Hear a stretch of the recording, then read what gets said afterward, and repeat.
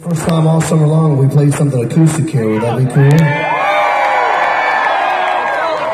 It's our first time doing it.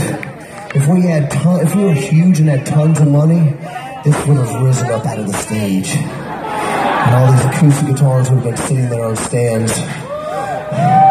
That'd be cool, wouldn't it? Even like Bon Jovi, maybe he could have, he could have two acoustic guitars, like two levels.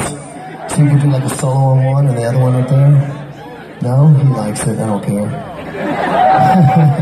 we even talked about which seats we're sitting in. Can I sit in this one here?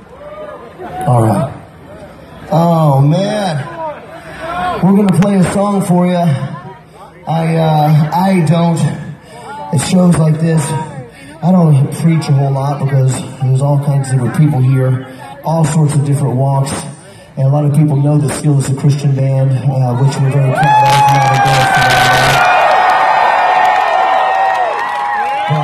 The fact that when I look out at skillet audiences and I get to meet people before a show or after a show, whatever, I love the fact that there are so many different kinds of people here. And I am so happy that I assume, like most all other uh, excuse me, skillet shows, there are tons of people here who are not Christians, maybe not spiritual, maybe you're atheist, or maybe you're Muslim or Jewish or something else, whatever you are. We're so glad you're here. I don't care where you come from or what you believe, what you for, what you do for fun.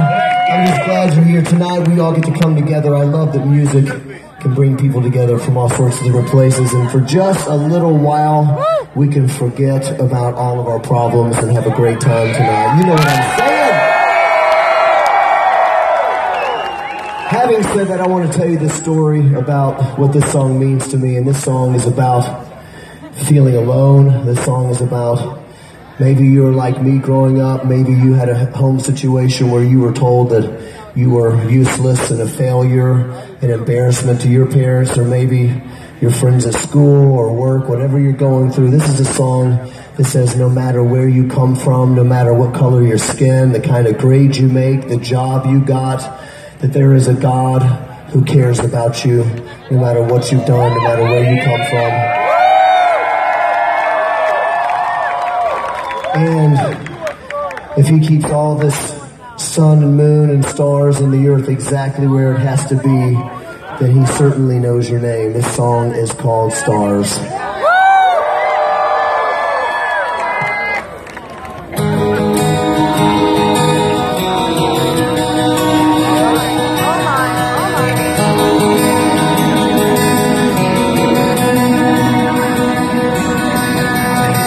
You spoke when life began. Us she's never stopped.